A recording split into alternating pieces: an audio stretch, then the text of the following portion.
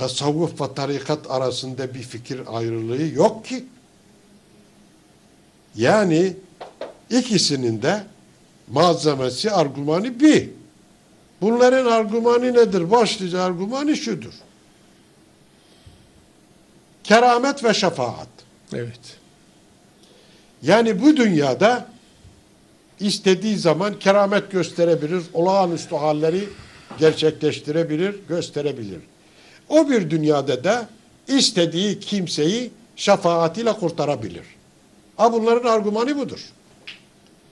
Tasavvufçuların da, tarikatçilerin de. Bunların piri de Hasan Basri'nin iki talebesi. Farkat Es-Sebaki ve Habibi Acemi'dir. İkisi de gayrimüslim fakat gelmiş Müslüman olmuş. Ya da olduğunu söylemiş. Yok olduğunu samimi olarak da kabul ederiz. Biz zahira hüküm ederiz. Evet. Ama kültürünü atmamıştır. Eski kültürünü at. İnancını atmamış evet. Evet. Farkat Es-Sebaki Sabi'idir. Sabi'i. Yani hani Hristiyanların bir fırkasıdır Fırkası, Sabi'iler. evet. Veyahut da Mezopotamya'nın eski dinidir. Evet. İki rivayet vardır. O Sabi'idir. Fakat gelmiş Müslüman olmuştur. Habibi Acemi de Zerdüşt'tür ve tefecidir. O da Müslüman olmuş, tefeciliği mesleğini de bırakmıştır. Fakat Farkat Es-Sebaki alimdir. Hadis uydurmasını gayet iyi biliyor. Ha böyle alim yani. Ha. Had- Hadis uydurmasında uzman birisi. Uzman yani. Evet. İlk önce beyaz hırka suf yani beyaz hırkayı o giyiyor. İlk önce giyen odur. Halk onu ayıplıyor diyor ki ya bu Hristiyan rahipleri bunu giyiyor. Sen niye onları taklit ediyorsun giyiminde kuşamında diyor. Hristiyan rahipleri gibi giyiniyorsun. O da başlıyor bunun hakkında, bunun faziletiyle ilgili hadisler uydurmaya başlıyor. Farkat Es-Sebaki. Ve bu rahbaniyet hayatıyla ruhbanlık diyorlar ya, Evet. bu rahbaniyet hayatının faziletiyle ilgili çok hadis uyduruyor. Evet. Yani rahbaniyet hayatı nedir? Bu Peygamber Efendimiz devrinde aralarında Osman bin Maz'un'un da bulunduğu bazı kimseler Hristiyan rahipleri gibi yaşamaya başlıyorlar. Evet. Peygamber Efendimiz'den habersiz. Bir gün Osman bin Mas'un'un hanımı Peygamber Efendimiz'in zevcesi Hazreti Ayşe validemizin yanına geliyor. Evet. Hazreti Ayşe validemiz diyor ki ona nedir bu senin böyle bakımsız durumun, dağınıklığın diyor. Niye böylesin sen diyor. E diyor Osmanlı aramda diyor artık diyor evlilik şeysi kalmadı diyor. E nasıl diyor? Artık diyor karılık kocalık kalmadı aramızda diyor. Hiç o beşeri ilişkiler falan kalmadı diyor. Niye diyor? E o diyor tamamen kendini ibadete vermiş. Ve artık dünyevi nimetleri de tamamen terk, Terk etmiş diyor. Biraz sonra da Peygamber Efendimiz hane-i saadetlerine teşrif buyuruyor geliyor. Hazreti Ayşe validemiz diyor ki ya Resulallah diyor. Osman bin Mas'un'un hanımı geldi bana ve böyle diyor. Peygamber Efendimiz çok hiddetleniyor mübarek. Osman'ı çağırın bana diyor.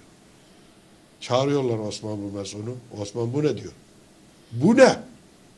Ben böyle bir din mi size diyor. Anlattım. Getirdim. Tebliğ ettim diyor. Ya Resulallah diyor.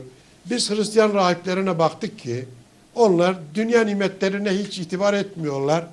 Artık yani zorunlu yaşamak için gerekli olan nimetlerle yetiniyorlar ve vakitlerini de ibadette geçiriyorlar. Gündüzleri de oruç. Oruçlu oluyorlar. Oruç tutuyorlar. E biz düşündük dedik ki ya Hristiyanlar böyle bir hayata biz Hristiyanlardan daha önce bu hayat bizim hakkımızdır. Biz de böyle yaşamalıyız diye düşündük. Peygamber Efendimiz diyor ben size böyle bir din mi tebliğ ettim diyor. Evet. Şimdi gidecek hanımınla yatağa gireceksin diyor. Ya Resulallah ben oruçluyum diyor. Orucunu bozacaksın diyor. Bak. Orucunu bozacaksın. Tabii nafile oruç. Evet. Artık Peygamber Efendimiz hayatında kimse böyle bir şeye tevessül etme cesaretini Bulamadı. bulamadı. Ve tabii ki Maide suresi ayet 86 Ya eyyühellezine amenu la tuharrimu tayyibati ma ahallallahu lekum Allah'ın size kıldığı, halal kıldığı nimetleri kendinize haram kılmayın. Evet. Ha. Ve size verdiğimiz rızıklardan faydalanın. Her türlü rızıktan faydalanın da fakat aşırı yetmeyin yani. İsraf etmeyin, aşırı yetmeyin. Evet. Ha, bu ayet de nazil oldu tabi. Bu da Müslümanlara tebliğ edildi. Peygamber Efendimiz hayatında bir daha kimse böyle bir şeye tevessül edemedi. Fakat Peygamber Efendimiz'den sonra tabiiler döneminde, ikinci kuşak Müslümanlar döneminde işte Hasan Basri döneminde. Hasan Basri kendisi de aslında Meysan, onun annesi babası Meysan esirlerindendir. Fakat kendisi Medine'de dünyaya geliyor. Ummul Kura'da büyüyor ve Basra'ya yerleşiyor. Hasan Basri. Evet. Onun bu iki talabesi de böyle. İşte Habibi Acemi de bu Farkat Es-Sebaki'den sonra bu ruhbanlık hayatını, Hristiyan rahiplerinin hayatını özendiren, teşvik eden hadisler uyduruyor. Evet. Ha, bu yolda bir cemaat yetişiyor. Bu cemaat. Yani sofiler, tasavvufçuların ilk tasavvufçular yetişiyor. Bir cemaat. Evet. Bunların şeysi şudur. Bunlara zühhat deniliyor. Yani dünya nimetlerine bunlar iltifat etmiyor. Ubbat deniliyor. Çok ibadet ediyor. Nüssak deniliyor. Yine çok ibadet anlamında. Kussas deniliyor. Çok menkıbe kıssa anlatıyorlar. Böyle bir zümre yetişti. Bu Farkat Es-Sebeki'nin izinde. Bunlar da o hadisleri habire ve onların inancına göre hadis uydurmak da sevaptır. Böyle bir inanç yayıldı bunlar arasında. Yani biz çünkü ibadetleri teşvik için hadis uydurmak sevaptır. Öyle bir anlayış kabul gördü bunlarda.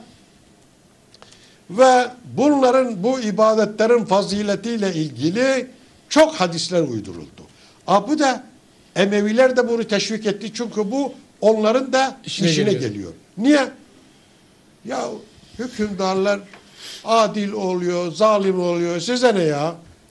Sizin gayeniz cennete gitmek değil midir? Ha işte şöyle şu kadar ibadet edersen, şu duayı okursan cenneti garantilemiş olursun. Dünya nimetlerinden de bir hırka bir lokma yeter Ha, size. ondan sonra ha, dünya nimetleriyle de hiç ilgilenmeyin.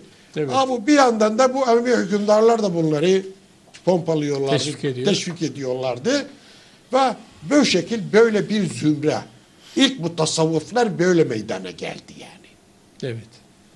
Ondan sonra o Habibi Acemi, Habibi Acemi cahil. O hadis uyduramıyor. Evet. Hatta namaz dualarını da doğru dürüst bilmiyordu bu adam. Evet. Hasan Basri şunu söylemişti. Habibi Acemi arkasında namaz kılmayın çünkü onun namaz duaları saatli değildir, doğru değildir.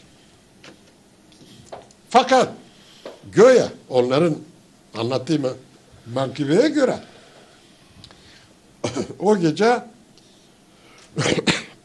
Hasan Basri'ye Cenab-ı Allah rüyasında ona diyor ki sen Habibi Acemi arkasında namaz kılsaydın bütün hayatın boyunca kıldığın ibadetleri onun yüzü hürmetine kabul ederdin. Bak bak bak.